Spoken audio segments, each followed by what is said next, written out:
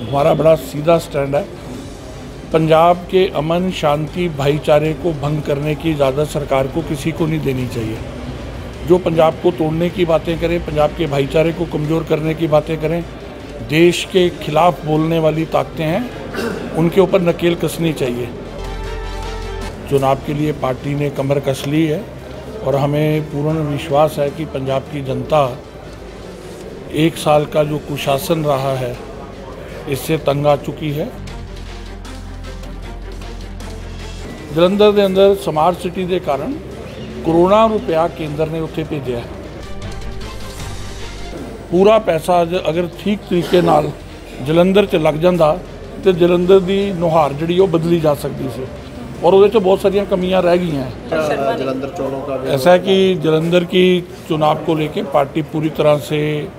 तैयार है और उसी को लेकर आज हमारे जो प्रभारी हैं, विजय रूपानी जी, तरुण चुग जी और डॉक्टर नरेंद्र रैना शामिल हुए बैठकों में और अलग अलग तरह से पार्टी ने अलग अलग स्तर पर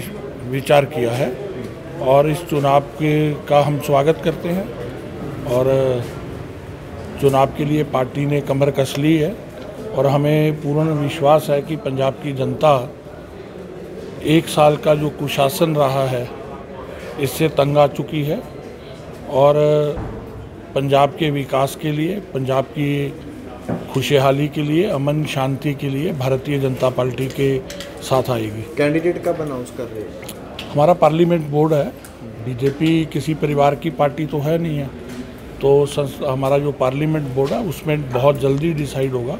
ਔਰ ਬਹੁਤ ਜਲਦੀ ਪ੍ਰਤਿਆਸ਼ੀ ਮਿਲੇਗਾ। ਸਰ ਵਾਅਦੇ ਕਿਹੜੇ ਰਹਿਣਗੇ? ਕਿਉਂਕਿ ਸਭ ਤੋਂ ਵੱਡੀ ਗੱਲ ਵਾਅਦਿਆਂ ਦੀ ਵੀ ਆ ਜਾਂਦੀ ਨਾ ਕਿ ਕਿਹੜੇ ਵਾਅਦੇ ਤੁਸੀਂ ਲੈ ਕੇ ਆਓਗੇ ਲੋਕਾਂ ਦੇ ਵਿੱਚ ਦੇਖੋ ਜਲੰਧਰ ਦੇ ਅੰਦਰ ਵੈਸੇ ਤਾਂ ਲੋਕ ਸਭਾ ਦਾ ਚੋਣ ਦੇਸ਼ ਦਾ ਚੋਣ ਹੈ ਪਰ ਇਹ ਜਿਮਨੀ ਚੋਣ ਹੈ। ਇਹਦੇ ਅੰਦਰ ਜਿਹੜਾ ਵਰਤਮਾਨ ਸਰਕਾਰ ਹੈ ਇਹਦਾ ਫੇਲੂਅਰ ਆਏਗਾ। ਇਹਦੇ ਨਾਲ ਨਾਲ ਜਲੰਧਰ ਪਾਰਲੀਮੈਂਟ ਦੇ ਅੰਦਰ ਜਿਹੜੇ ਐਮਪੀ ਸੀ ਕਾਂਗਰਸ ਦੇ, ਉਹਨਾਂ ਦੁਆਰਾ ਕੀਤੀ ਜਿਹੜੀ ਕਾਰਗੁਜ਼ਾਰੀ ਹੈ, ਉਹਦੇ ਉੱਤੇ ਵੀ ਅਸੀਂ ਚਰਚਾ ਕਰਾਂਗੇ। ਜਲੰਧਰ ਦੇ ਅੰਦਰ ਸਮਾਰਟ ਸਿਟੀ ਦੇ ਕਾਰਨ ਕਰੋੜਾਂ ਰੁਪਇਆ ਕੇਂਦਰ ਨੇ ਉੱਥੇ ਭੇਜਿਆ ਜਿਹੜਾ ਕਿ ਪਿਛਲੀ ਸਰਕਾਰ ਦੇ ਅੰਦਰ ਖੁਰਦਬੁਰਦ ਹੋਇਆ ਉਹ ਇੱਕ ਬਹੁਤ ਵੱਡਾ ਮੁੱਦਾ ਉੱਥੇ ਰਹਿਣ ਵਾਲਾ ਹੈ ਕਿ ਕੇਂਦਰ ਦੇ ਮੋਦੀ ਸਰਕਾਰ ਦੁਆਰਾ ਆਇਆ ਪ- ਪੂਰਾ ਪੈਸਾ ਅਗਰ ਠੀਕ ਤਰੀਕੇ ਨਾਲ ਜਲੰਧਰ 'ਚ ਲੱਗ ਜਾਂਦਾ ਤੇ ਜਲੰਧਰ ਦੀ ਨੁਹਾਰ ਜਿਹੜੀ ਉਹ ਬਦਲੀ ਜਾ ਸਕਦੀ ਸੀ। ਔਰ ਉਹਦੇ 'ਚ ਬਹੁਤ ਸਾਰੀਆਂ ਕਮੀਆਂ ਰਹਿ ਗਈਆਂ ਇਸ ਕਰਕੇ ਇਸ ਇਹ ਇਹਨੂੰ ਮੁੱਦੇ ਨੂੰ ਸ਼ਹਿਰ ਦੇ ਅੰਦਰ ਅਸੀਂ ਬੜੀ ਪ੍ਰਮੁਖਤਾ ਨਾਲ ਉਠਾਉਣ ਵਾਲੇ ਹਾਂ अश्वनी जी अमृतपाल के मुद्दे पे क्या कहना चाहोगे अभी खबरें आ रही हैं कि सरेंडर कर सकते हैं अरे मेरे अमृतपाल के मुद्दे पे हमारा बड़ा सीधा स्टैंड है पंजाब के अमन शांति भाईचारे को भंग करने की इजाज़त सरकार को किसी को नहीं देनी चाहिए जो पंजाब को तोड़ने की बातें करें पंजाब के भाईचारे को कमज़ोर करने की बातें करें